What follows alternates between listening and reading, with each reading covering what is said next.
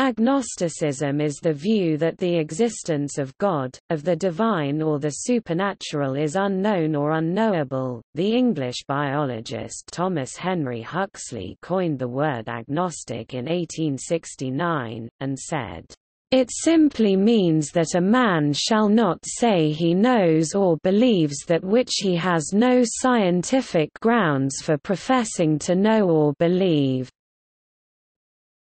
Earlier thinkers, however, had written works that promoted agnostic points of view, such as Sanjaya Belatthaputta, a 5th century BCE Indian philosopher who expressed agnosticism about any afterlife, and Protagoras, a 5th century BCE Greek philosopher who expressed agnosticism about the existence of the gods the Nasadiya Sukta in the Rig Veda is agnostic about the origin of the universe, according to the philosopher William L. Rowe. Agnosticism is the view that human reason is incapable of providing sufficient rational grounds to justify either the belief that God exists or the belief that God does not exist. Agnosticism is the doctrine or tenet of agnostics with regard to the existence of anything beyond and behind material phenomena or to knowledge of a first cause or God, and is not a religion.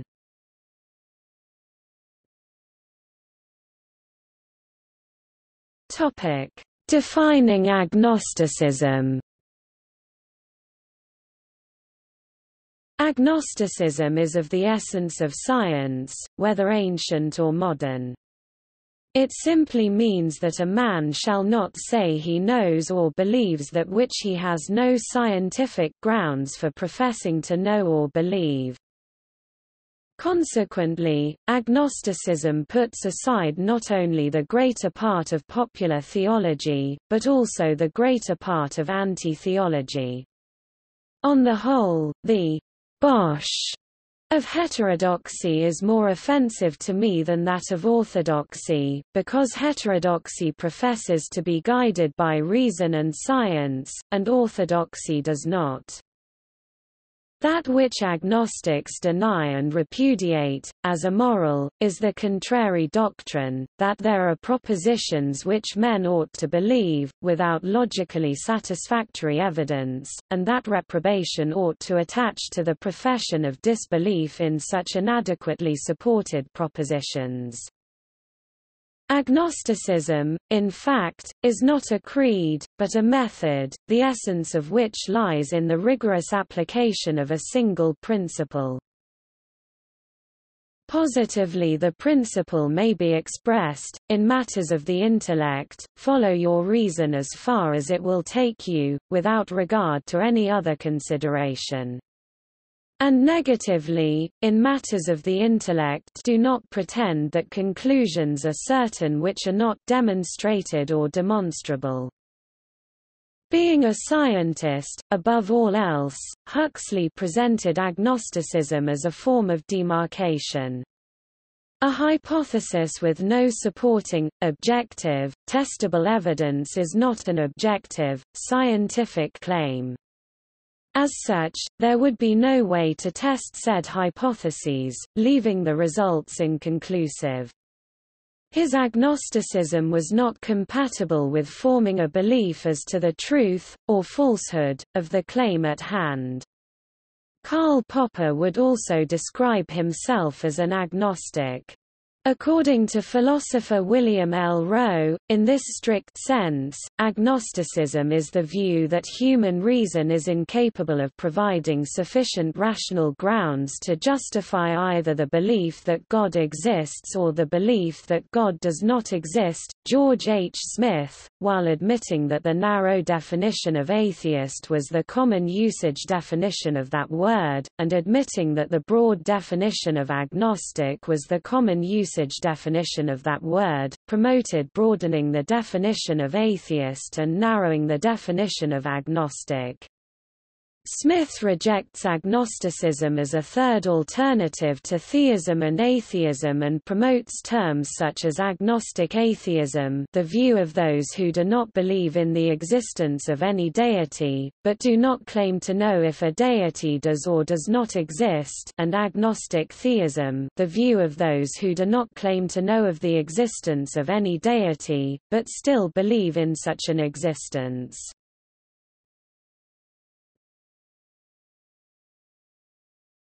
Topic: Etymology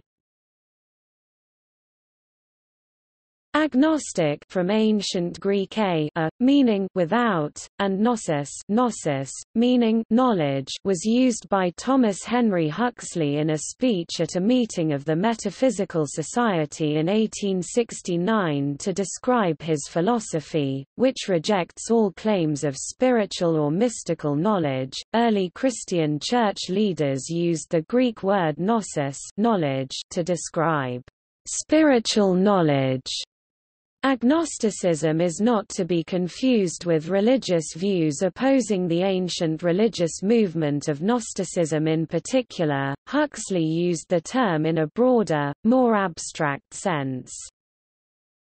Huxley identified agnosticism not as a creed but rather as a method of skeptical, evidence-based inquiry. In recent years, scientific literature dealing with neuroscience and psychology has used the word to mean not knowable. In technical and marketing literature, agnostic can also mean independence from some parameters, for example, platform agnostic or hardware agnostic.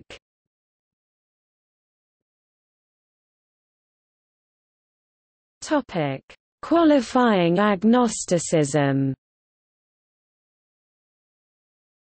Scottish Enlightenment philosopher David Hume contended that meaningful statements about the universe are always qualified by some degree of doubt.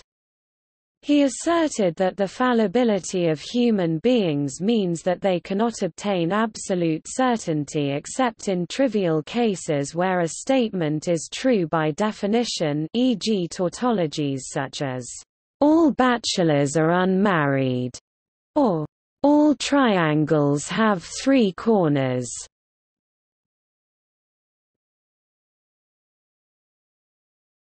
Topic: Types.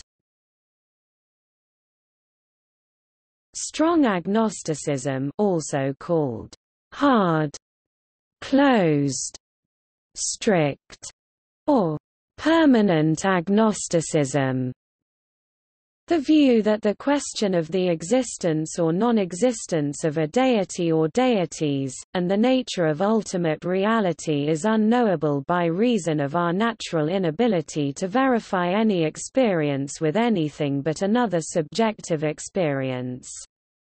A strong agnostic would say, I cannot know whether a deity exists or not, and neither can you. Weak agnosticism also called soft, open, empirical, or temporal agnosticism. The view that the existence or non-existence of any deities is currently unknown but is not necessarily unknowable, therefore, one will withhold judgment until evidence, if any, becomes available. A weak agnostic would say, I don't know whether any deities exist or not, but maybe one day, if there is evidence, we can find something out.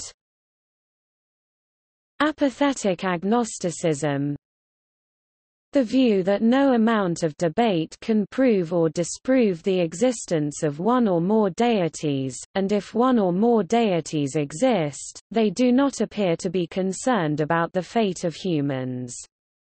Therefore, their existence has little to no impact on personal human affairs and should be of little interest.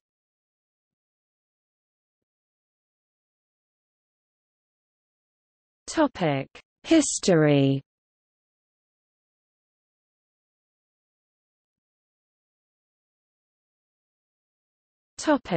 Hindu philosophy. Throughout the history of Hinduism there has been a strong tradition of philosophic speculation and skepticism. The Rig Veda takes an agnostic view on the fundamental question of how the universe and the gods were created. Nasadiya Sukta creation hymn in the 10th chapter of the Rig Veda says, Topic Hume, Kant, and Kierkegaard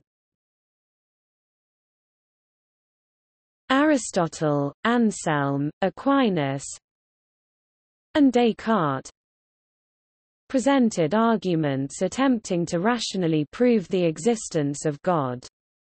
The skeptical empiricism of David Hume, the antinomies of Immanuel Kant, and the existential philosophy of Soren Kierkegaard convinced many later philosophers to abandon these attempts, regarding it impossible to construct any unassailable proof for the existence or non-existence of God. In his 1844 book, Philosophical Fragments, Kierkegaard writes, let us call this unknown something, God.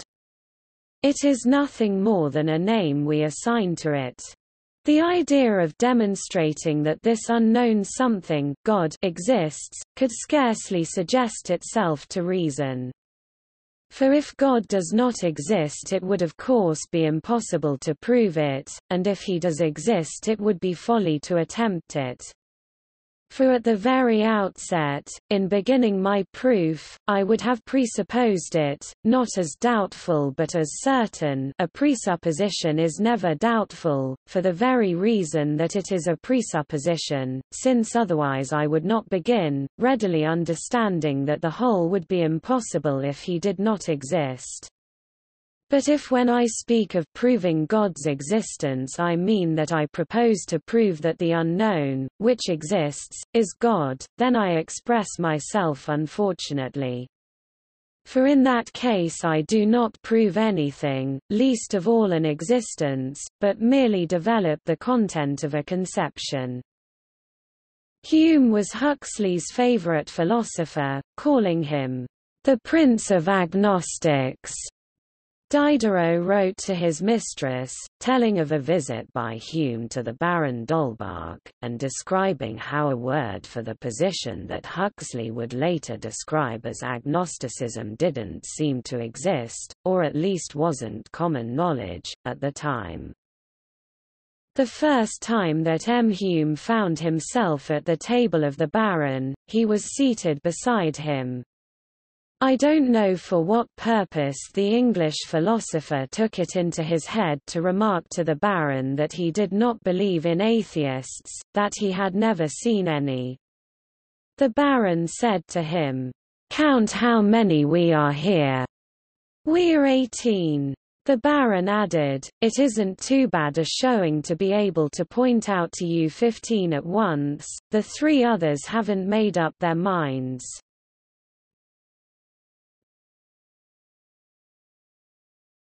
Topic: United Kingdom.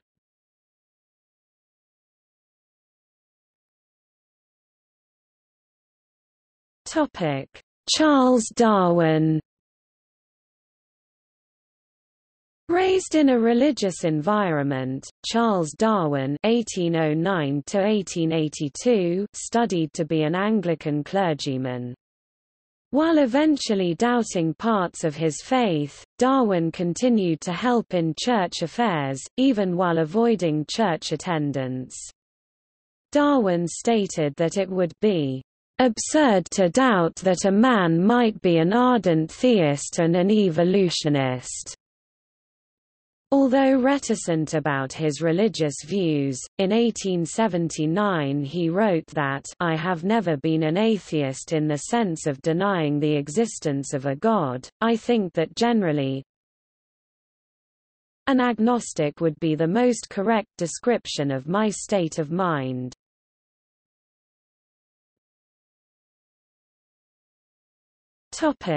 Thomas Henry Huxley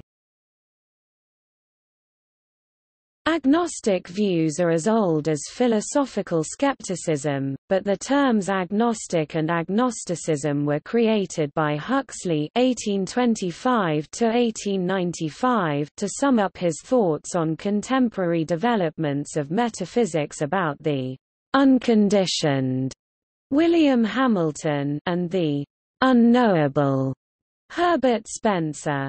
Though Huxley began to use the term agnostic. In 1869, his opinions had taken shape some time before that date. In a letter of September 23, 1860, to Charles Kingsley, Huxley discussed his views extensively. I neither affirm nor deny the immortality of man. I see no reason for believing it, but, on the other hand, I have no means of disproving it. I have no a priori objections to the doctrine. No man who has to deal daily and hourly with nature can trouble himself about a priori difficulties. Give me such evidence as would justify me in believing in anything else, and I will believe that. Why should I not? It is not half so wonderful as the conservation of force or the indestructibility of matter. It is no use to talk to me of analogies and probabilities. I know what I mean when I say I believe in the law of the inverse squares, and I will not rest my life and my hopes upon weaker convictions. That my personality is the surest thing I know may be true. But the attempt to conceive what it is leads me into mere verbal subtleties. I have champed up all that chaff about the ego and the non-ego, noumena and phenomena, and all the rest of it, too often not to know that in attempting even to think of these questions, the human intellect flounders at once out of its depth. And again, to the same correspondent, May 6, 1863, I have never had the least sympathy with the a priori reasons against orthodoxy, and I have by nature and disposition the greatest possible antipathy to all the atheistic and infidel school. Nevertheless I know that I am, in spite of myself, exactly what the Christian would call, and, so far as I can see, is justified in calling, atheist and infidel.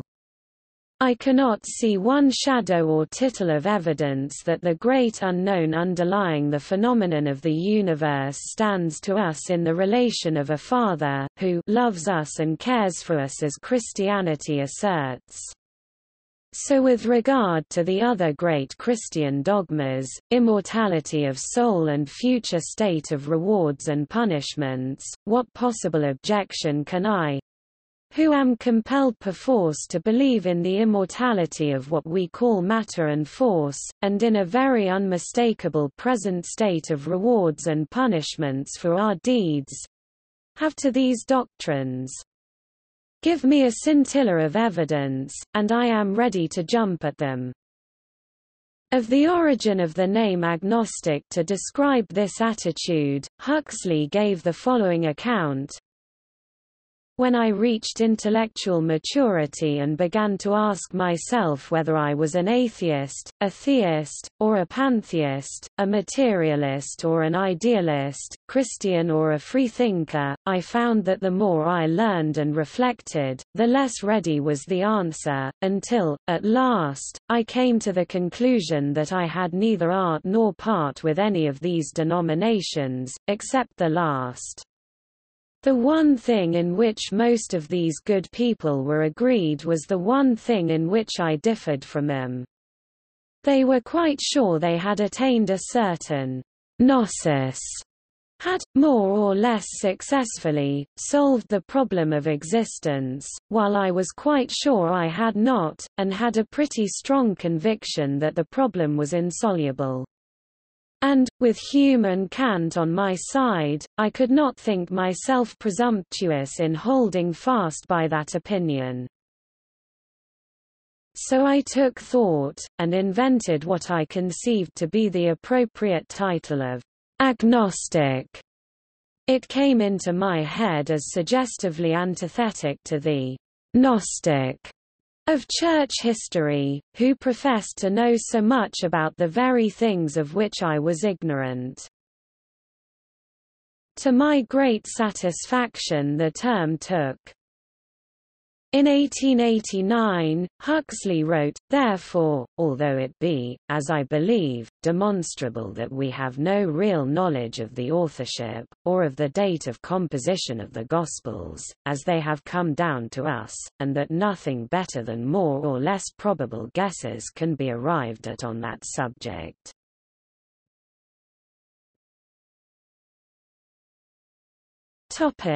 William Stewart Ross William Stewart Ross (1844–1906) wrote under the name of Saladin. He was associated with Victorian freethinkers and the organisation the British Secular Union. He edited the Secular Review from 1882, it was renamed Agnostic Journal and Eclectic Review and closed in 1907.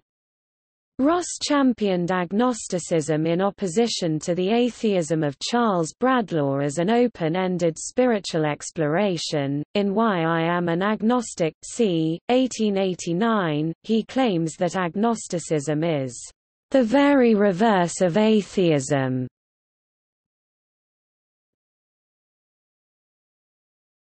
Topic: Bertrand Russell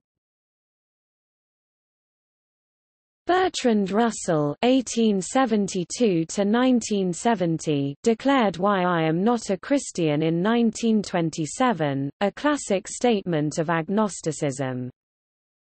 He calls upon his readers to stand on their own two feet and look fair and square at the world with a fearless attitude and a free intelligence." In 1939, Russell gave a lecture on the existence and nature of God, in which he characterized himself as an atheist. He said, The existence and nature of God is a subject of which I can discuss only half. If one arrives at a negative conclusion concerning the first part of the question, the second part of the question does not arise, and my position, as you may have gathered, is a negative one on this matter. However, later in the same lecture, discussing modern non-anthropomorphic concepts of God, Russell states, that sort of God is, I think, not one that can actually be disproved, as I think the omnipotent and benevolent Creator can. In Russell's 1947 pamphlet, Am I an Atheist or an Agnostic?, subtitled A Plea for Tolerance in the Face of New Dogmas, he ruminates on the problem of what to call himself. As a philosopher, if I were speaking to a purely philosophic audience I should say that I ought to describe myself as an agnostic, because I do not think that there is a conclusive argument by which one can prove that there is not a God. On the other hand, if I am to convey the right impression to the ordinary man in the street I think I ought to say that I am an atheist, because when I say that I cannot prove that there is not a God, I ought to add equally that I cannot prove that there are not the Homeric gods. In his 1953 essay, What is an Agnostic? Russell states, an agnostic thinks it impossible to know the truth in matters such as God and the future life with which Christianity and other religions are concerned. Or, if not impossible, at least impossible at the present time. Are agnostics atheists? No. An atheist, like a Christian, holds that we can know whether or not there is a God. The Christian holds that we can know there is a God, the atheist, that we can know there is not. The agnostic suspends judgment, saying that there are not sufficient grounds either for affirmation or for denial. Later in the essay, Russell adds, I think that if I heard a voice from the sky predicting all that was going to happen to me during the next 24 hours, including events that would have seemed highly improbable, and if all these events then produced to happen, I might perhaps be convinced at least of the existence of some superhuman intelligence.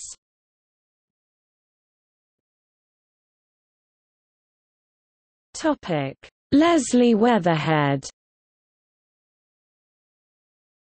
In 1965 Christian theologian Leslie Weatherhead (1893–1976) published *The Christian Agnostic*, in which he argues, Many professing agnostics are nearer belief in the true God than are many conventional church-goers who believe in a body that does not exist whom they must call God. Although radical and unpalatable to conventional theologians, Weatherhead's agnosticism falls far short of Huxley's, and short even of weak agnosticism. Of course, the human soul will always have the power to reject God, for choice is essential to its nature, but I cannot believe that anyone will finally do this.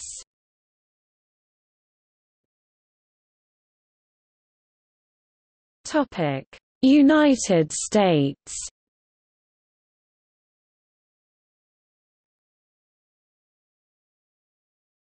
Topic: Robert G. Ingersoll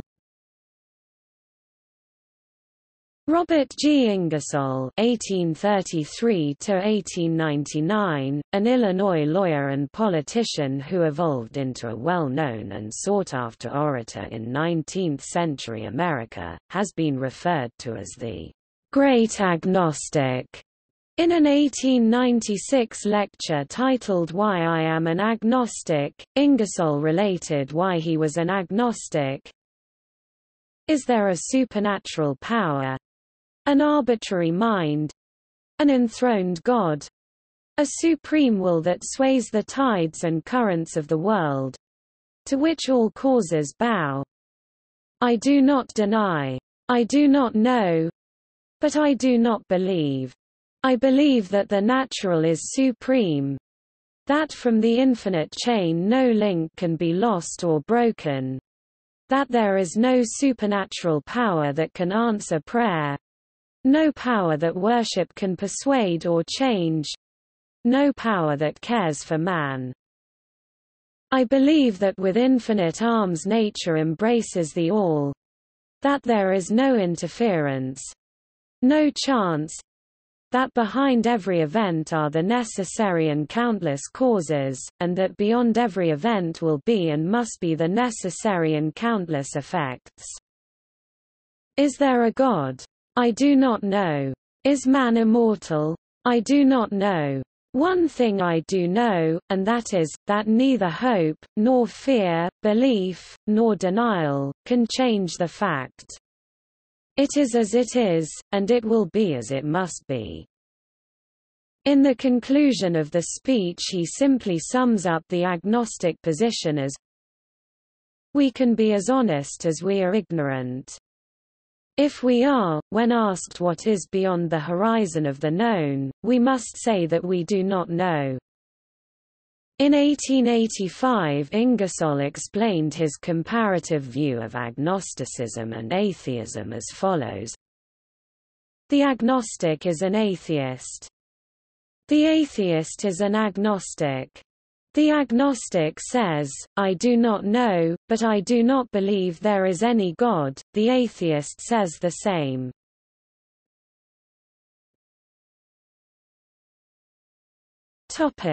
Bernard Iddings Bell Canon Bernard Iddings Bell (1886–1958), a popular cultural commentator, episcopal priest, and author, lauded the necessity of agnosticism in Beyond Agnosticism, a book for tired mechanists, calling it the foundation of all-intelligent Christianity. Agnosticism was a temporary mindset in which one rigorously questioned the truths of the age, including the way in which one believed God. His view of Robert Ingersoll and Thomas Paine was that they were not denouncing true Christianity but rather, a gross perversion of it. Part of the misunderstanding stemmed from ignorance of the concepts of God and religion. Historically, a god was any real, perceivable force that ruled the lives of humans and inspired admiration, love, fear, and homage. Religion was the practice of it. Ancient peoples worshipped gods with real counterparts, such as Mammon money and material things, Nabu rationality, or Baal violent weather. Bell argued that modern peoples were still paying homage, with their lives and their children's lives to these old gods of wealth, physical appetites, and self-deification. Thus, if one attempted to be agnostic passively, he or she would incidentally join the worship of the world's gods. In Unfashionable Convictions 1931, he criticized the Enlightenment's complete faith in human sensory perception, augmented by scientific instruments, as a means of accurately grasping reality. Firstly, it was fairly new, an innovation of the Western world, which Aristotle invented and Thomas Aquinas revived among the scientific community.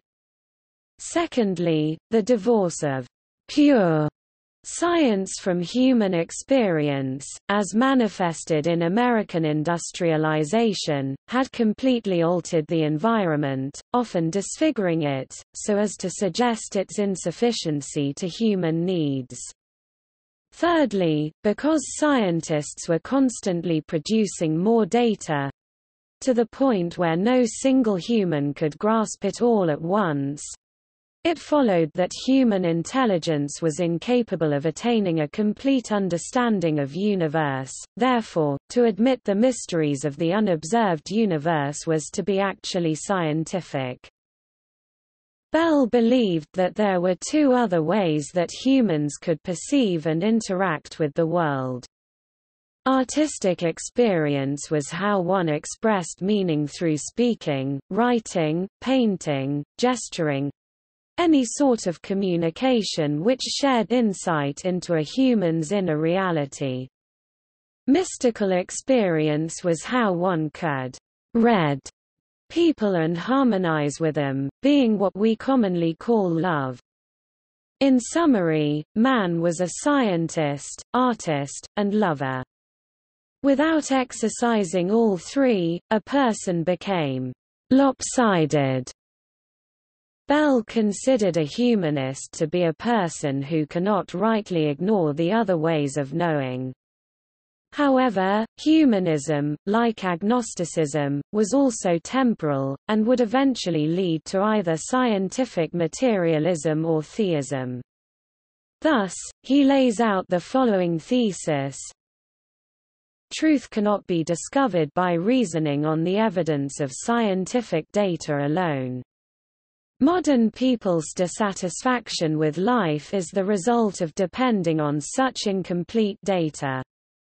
Our ability to reason is not a way to discover truth but rather a way to organize our knowledge and experiences somewhat sensibly. Without a full, human perception of the world, one's reason tends to lead them in the wrong direction. Beyond what can be measured with scientific tools, there are other types of perception, such as one's ability to know another human through loving. One's loves cannot be dissected and logged in a scientific journal, but we know them far better than we know the surface of the Sun. They show us an undefinable reality that is nevertheless intimate and personal, and they reveal qualities lovelier and truer than detached facts can provide. To be religious, in the Christian sense, is to live for the whole of reality God rather than for a small part God's. Only by treating this whole of reality as a person, good and true and perfect, rather than an impersonal force, can we come closer to the truth. An ultimate person can be loved, but a cosmic force cannot. A scientist can only discover peripheral truths, but a lover is able to get at the truth. There are many reasons to believe in God but they are not sufficient for an agnostic to become a theist. It is not enough to believe in an ancient holy book, even though when it is accurately analyzed without bias, it proves to be more trustworthy and admirable than what we are taught in school. Neither is it enough to realize how probable it is that a personal God would have to show human beings how to live, considering they have so much trouble on their own. Nor is it enough to believe for the reason that, throughout history, millions of people have arrived at this wholeness of reality only through religious experience. The aforementioned reasons may warm one toward religion, but they fall short of convincing. However, if one presupposes that God is in fact a knowable, loving person, as an experiment, and then lives according that religion, he or she will suddenly come face to face with experiences previously unknown. One's life becomes full, meaningful, and fearless in the face of death. It does not defy reason but exceeds it. Because God has been experienced through love, the orders of prayer, fellowship, and devotion now matter. They create order within one's life, continually renewing the missing piece that had previously felt lost. They empower one to be compassionate and humble, not small-minded or arrogant. No truth should be denied outright, but all should be questioned. Science reveals an ever-growing vision of our universe that should not be discounted due to bias toward older understandings. Reason is to be trusted and cultivated. To believe in God is not to forego reason or to deny scientific facts, but to step into the unknown and discover the fullness of life.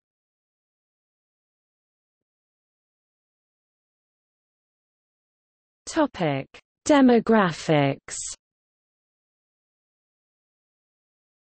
Demographic research services normally do not differentiate between various types of non-religious respondents, so agnostics are often classified in the same category as atheists or other non-religious people. A 2010 survey published in Encyclopaedia Britannica found that the non-religious people or the agnostics made up about 9.6% of the world's population. A November to December 2006 poll published in the Financial Times gives rates for the United States and five European countries. The rates of agnosticism in the United States were at 14%, while the rates of agnosticism in the European countries surveyed were considerably higher, Italy 20%, Spain 30%, Great Britain 35%, Germany 25%, and France 32%. A study conducted by the Pew Research Center found that about 16% of the world's people, the third largest group after Christianity and Islam, have no religious affiliation. According to a 2012 report by the Pew Research Center, agnostics made up 3.3% of the U.S. adult population. In the U.S. Religious Landscape Survey, conducted by the Pew Research Center, 55% of agnostic respondents expressed a belief in God or a universal spirit, whereas 41% stated that they thought that they felt a tension, being non-religious in a society where most people are religious. According to the 2011 Australian Bureau of Statistics, 22% of Australians have no religion, a category that includes agnostics. Between 64% and 65% of Japanese and up to 81% of Vietnamese are atheists, agnostics, or do not believe in a god. An official European Union survey reported that 3% of the EU population is unsure about their belief in a god or spirit.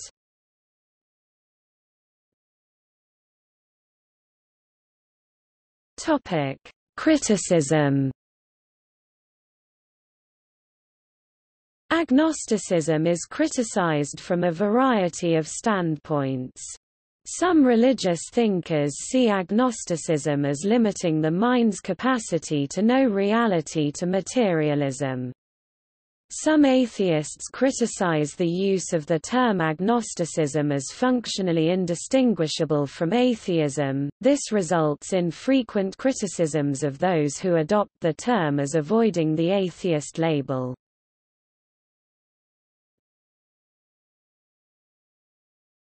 Topic: Theistic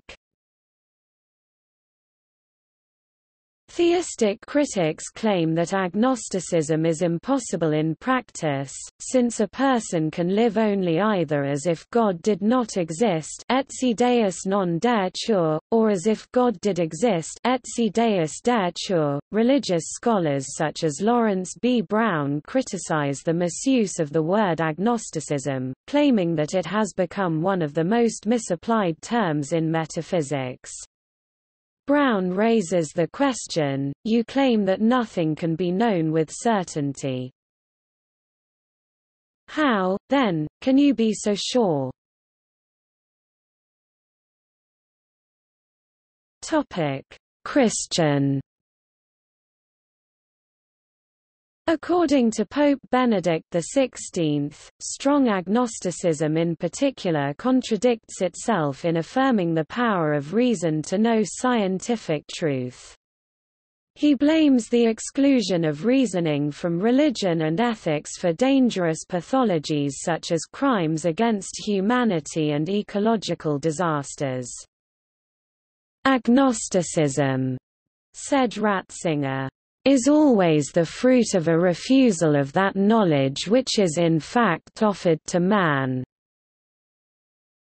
The knowledge of God has always existed.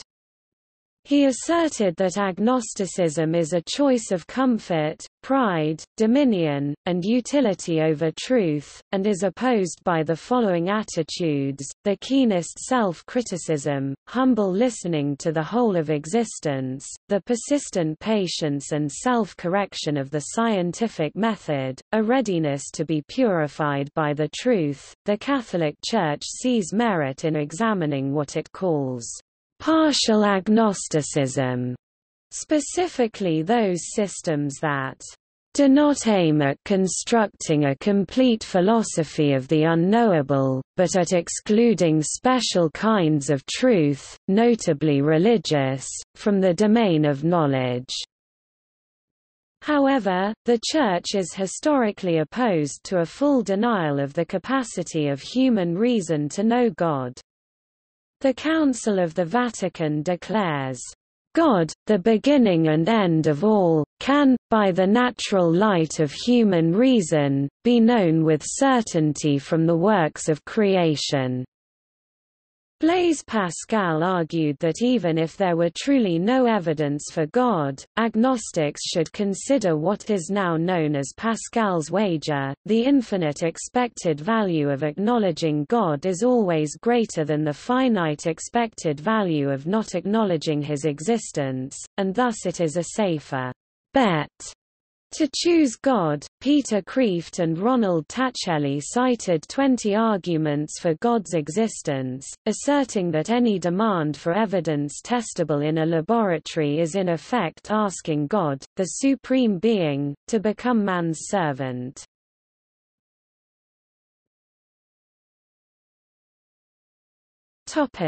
atheistic. According to Richard Dawkins, a distinction between agnosticism and atheism is unwieldy and depends on how close to zero a person is willing to rate the probability of existence for any given godlike entity. About himself, Dawkins continues, I am agnostic only to the extent that I am agnostic about fairies at the bottom of the garden. Dawkins also identifies two categories of agnostics.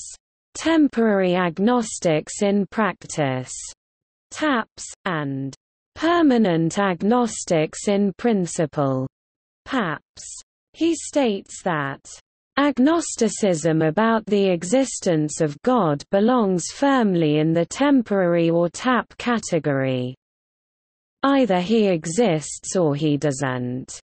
It is a scientific question, one day we may know the answer, and meanwhile we can say something pretty strong about the probability."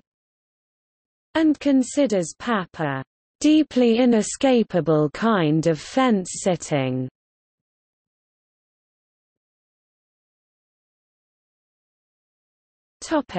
Ignosticism A related concept is ignosticism, the view that a coherent definition of a deity must be put forward before the question of the existence of a deity can be meaningfully discussed. If the chosen definition is not coherent, the ignostic holds the non-cognitivist view that the existence of a deity is meaningless or empirically untestable. A. J. Ayer, Theodore Drange, and other philosophers see both atheism and agnosticism as incompatible with ignosticism on the grounds that atheism and agnosticism accept a deity exists as a meaningful proposition that can be argued for or against. See also